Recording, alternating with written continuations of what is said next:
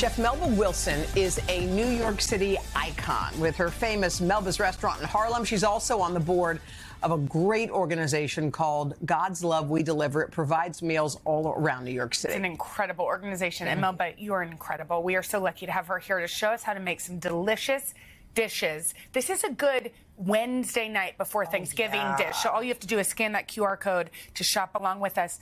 We're talking short ribs. We're talking short ribs. Mm. We're also talking ribs. God's love. We Yes, Yes, talk about that. yes. God's love we deliver. What are y'all doing for Super Thanksgiving this year? So this year, what we're doing is we are delivering 15,000 meals to people's homes, to our clients' homes, and these are people that otherwise would not have gotten a meal. yeah.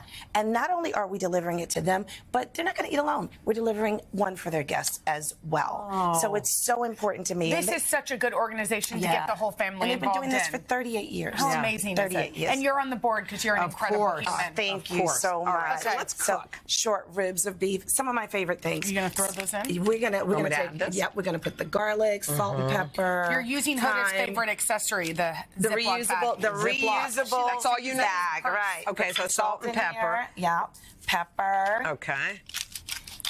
And then what we're going to do Is is, there any liquid or just no no? liquid? No, because we're going Ah. to marinate these overnight. We're going to seal our Shake- bags, shake shake, it, it, shake shake, it. up, shake it up, make sure that we get the seasoning it's a dry rub. It's a dry rub. right? Okay, Then and we're going to take them out and And you put these in the fridge overnight, obviously. Overnight, Yeah. definitely. And then what we're going to do is we're going to here. Why don't you do this for me? Oh, okay, yes, ma'am. There's some oil in the Dutch oven, and what we're going to do is we're going to put them in our pot.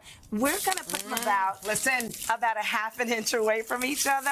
inch away. Perfect. You're doing a great job Can I over ask here, you Jenna. what could be a silly question? Smell this. What's that? I, I love the That rosemary. rosemary is I always love a short rib, but Uh-huh. I, I only really like a short rib that's not super fatty.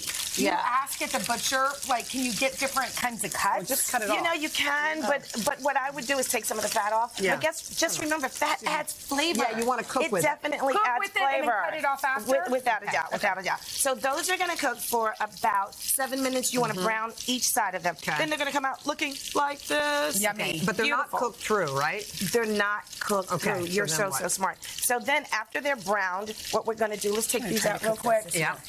We're going to take these out after they're brown. Okay. Okay. Look at that. Beautifully Yeah. brown. Uh huh. Beautifully brown. Take them out. Put them back in this.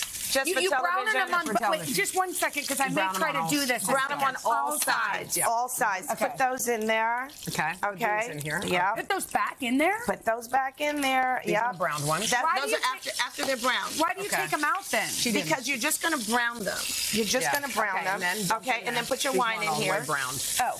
So we just have some. Okay, your but wine so in but there. you don't in oh sorry. Oh, that looks Looks good. beautiful. when you're looks really beautiful. cooking it though, you can leave it in there and just turn it down. Right, Yeah. right. We just Okay. did that because those For are not cooked. television. All right. And then we're going to put our stock in. Okay. Is that chicken or beef?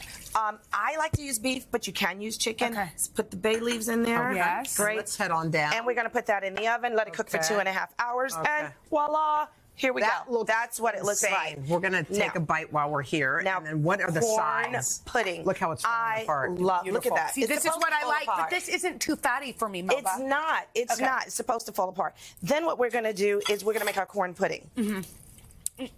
Okay, here's the recipe right here. Here's the don't even know recipe about your corn right pudding, here. This is killer. This is the best thing we've ever tested. If you want to make that recipe, It's amazing. You know, cook along And this is our corn pudding mm. right here. Melba, mm.